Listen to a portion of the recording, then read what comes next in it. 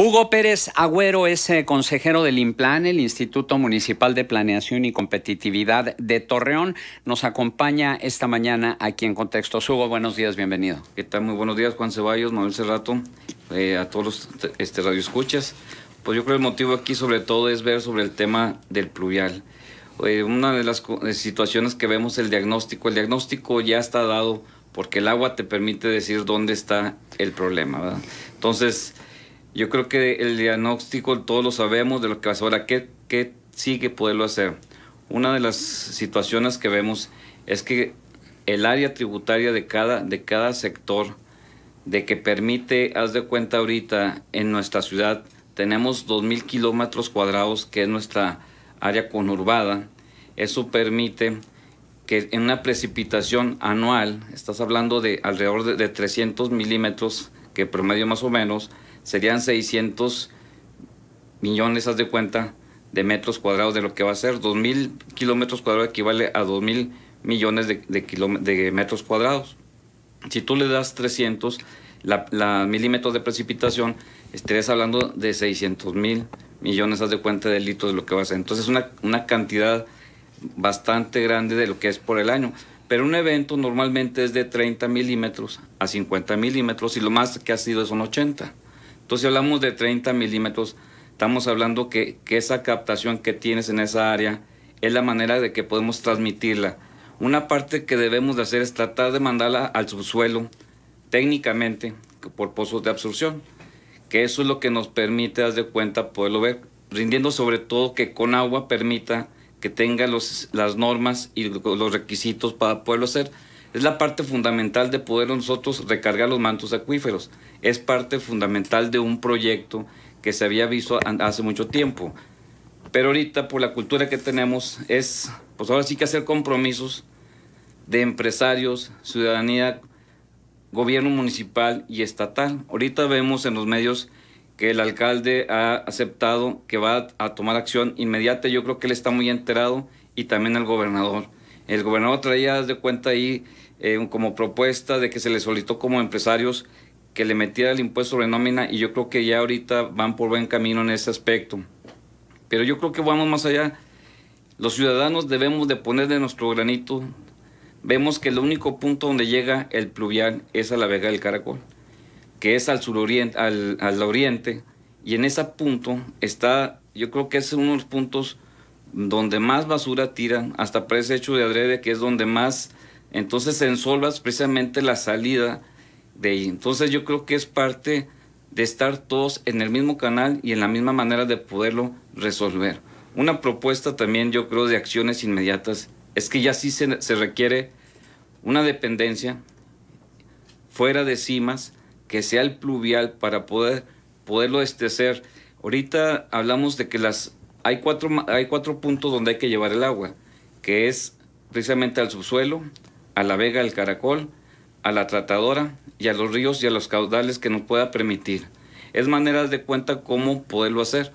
Un pozo de absorción que hemos ya hecho una investigación nosotros te cuesta ya bien alrededor de 2 millones de pesos, que te permite alrededor de ganar de 2 a 4 kilómetros cuadrados lo que te eso.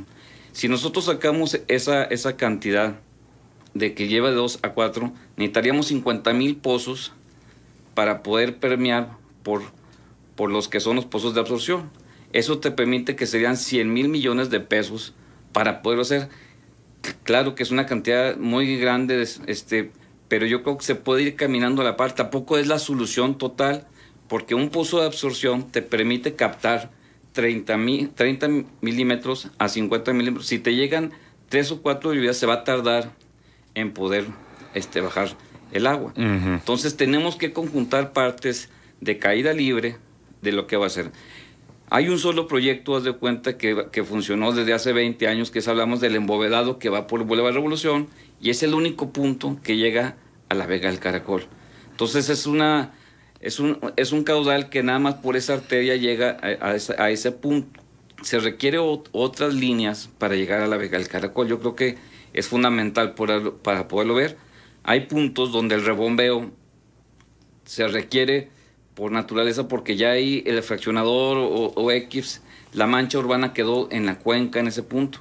Entonces no hay otra manera que va a ser. Un ejemplo, la Jumbo, hicimos un estudio ahí y alrededor de 20 mil metros cúbicos son los que captan esas, en ese punto. Y que es donde se anega también de manera muy problemática. Que es la parte más baja que viene de, desde, desde, este, pues desde lo que es la parte superior de la fuente, diagonal, este, Santiago Ramírez, baja prácticamente en ese punto, que se, que se, se involucra el cárcamo, que es el sanitario, que yo creo que ahorita la idea es separar el agua pluvial del agua de drenaje. Es complicado, pero es precisamente una un proyecto integral que se requiere para sacar. Sí, y, sobre todo, eh, eh, Hugo, que se especifique técnicamente qué se necesita en determinados sectores, porque tuvimos en 2016 un año muy, muy lluvioso, lluvioso desde el inicio, ¿no? Tan es así que incluso se tuvo que derivar el agua por el hecho del río Nazas. 2017 también hubo una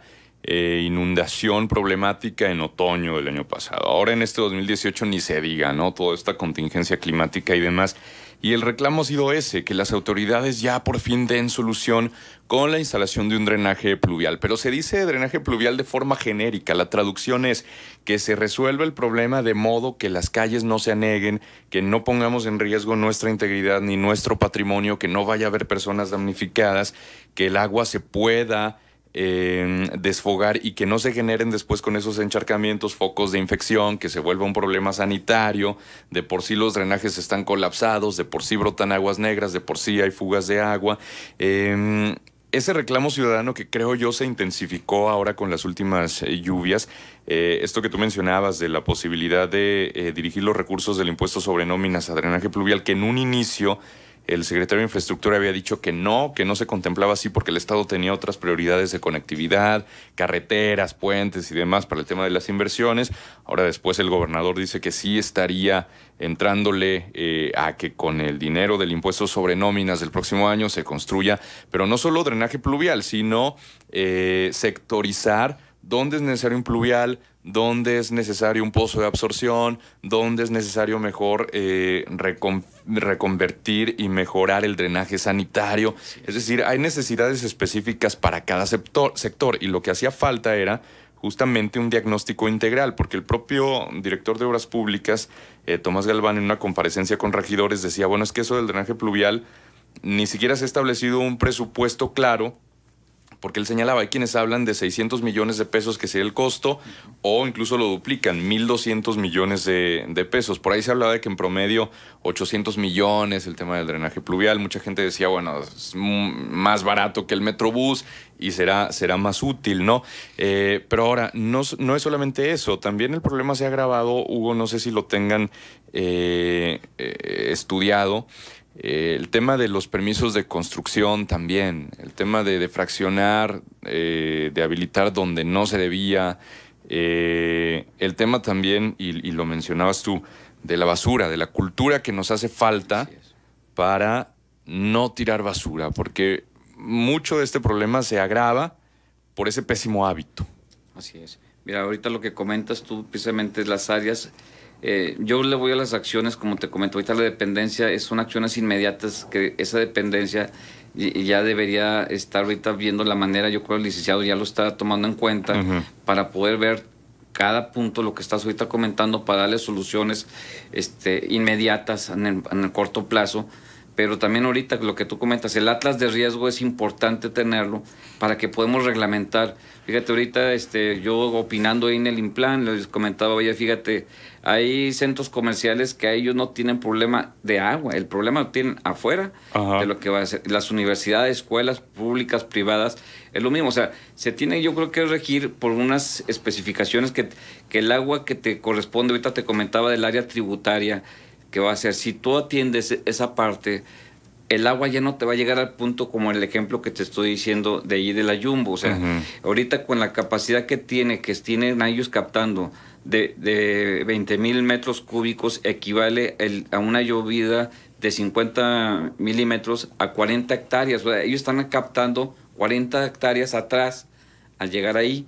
Entonces, si desde aguas arriba le ayudan, cada quien con su participación ciudadana, empresarial, y, también de, municipios, en plazas, Aquí el detalle es que esos pozos tienen que tener un mantenimiento y un servicio, que es donde hay que tener el cuidado, y precisamente por eso ahorita hablaba de la basura. O sea, tener el cuidado de tener, porque si se tapa, pues ahora sí que la inversión que se hizo, pues echa a perder. Entonces, tenemos que poner todos de nuestra parte, y ustedes como medios, pues yo creo son importantes de poder ver, ahorita de cuenta dejó de llover, pero créanme que ahorita sigue fluyendo el colector, haz de cuenta, donde todavía está captando y que todavía, haz de cuenta, está llegando al punto final, que es la tratadora. La otra parte también que te decía, la vega del caracol ya tiene que ser, pues ahora sí que es el vaso regulatorio de, de Torreón, o sea, si no se protege esa área, tiene que ser un área protegida, donde se tiene que ver un proyecto, no sé, un bosque o algo, porque eso permitiría que tú dices, tenemos el agua y poderlo a dónde llegar. O sea, sacarla al subsuelo, pero a la vega del caracol, o a la tratadora, o a los ríos. O sea, todo lo que es la parte norte, poniente, podemos mandarla al río. O sea, son situaciones que, como comentas tú, es cierto, pero ahorita la dependencia que tiene que ordenar y organizar, y con el apoyo estatal, municipal y ahora con, con, la federación que se pudiera bajar. Yo creo que los fondos sí se requiere mucho recurso, pero tenemos que hacer el proyecto técnico e integral para poder dar solución, soluciones e ir caminando de la mano. No, no va a terminar en un año, eso sí, mm, claro. es, es, imposible. También que la gente sepa que, que, que, el licenciado ahorita le tocó ahorita, pero yo creo que este, tipo, este mismo tema ya había pasado. Un ejemplo también en Provitec, eh, no había un centro comercial ahí y esa área que ya siempre realizó algo se capta y, sube más el nivel. Entonces, para poderlo, aunque mandemos pipas que apoyamos, es mucha agua. O sea, hablamos ahorita, como te digo, de qué punto que ya sacamos la topografía, son 20 mil metros cúbicos de la Jumbo. ¿Cuántas pipas son 20 millones? Necesitas más de 100 pipas, haz de cuenta, en el mismo momento. ¿Y a dónde le vas a tirar? Tienes que ir a tirarle a un canal o algo donde pueda ser. O sea, nada más en pueblos acá. Entonces, se está buscando la manera cómo sí resolverlas, pero tenemos que buscar alternativas. Hay una pregunta que hace a través del Twitter eh, Francisco Evilla Zapata. Dice, ¿pozos de absorción no generarán más hundimientos? Este, no, precisamente se hace un estudio geohidrológico que precisamente el ejemplo que vimos ahí es el pozo va a 140, 130, mientras no le llegue al nivel freático o estático, que, que de acuerdo a las normas de Conagua son 20 metros arriba. Tenemos que, estar regidos o normados por Conagua para que, para que el agua haga su función y no haga el, la situación de afectación hacia arriba. ¿Qué es lo que está pasando ahorita? Lo que comenta esta persona.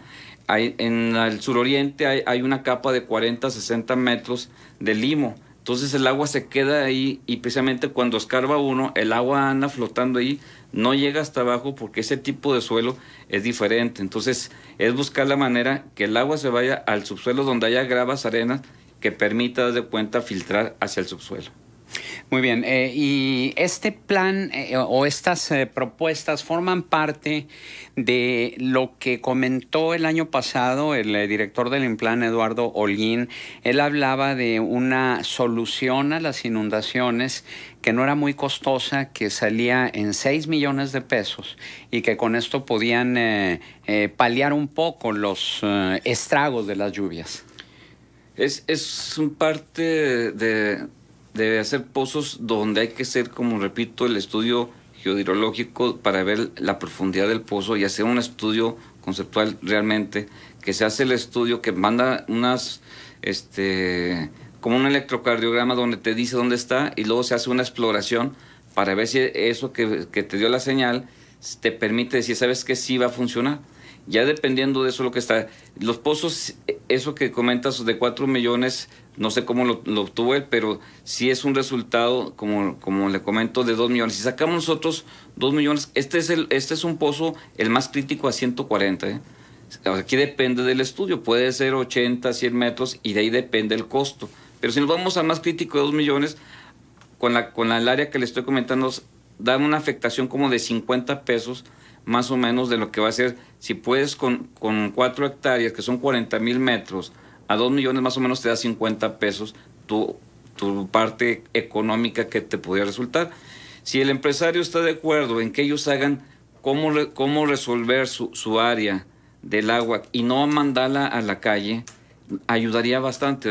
Igual las escuelas, o sea, si se fijan, todos los problemas de inundación están afuera de los centros comerciales y no estoy a favor ni en contra de ninguno. O sea, yo hago la, mención técnica que pudiera pasar, que está pasando, que si ellos tuvieran, ellos suben el nivel y mandan el agua hacia, hacia la calle. Entonces también las escuelas hacen lo mismo. O sea, si se fijan la afectación de, de todos los sectores, es, es las obras magnas o, arriba de mil o, o cinco mil metros cuadrados tienen el problema fuera de su calle, no en el interior.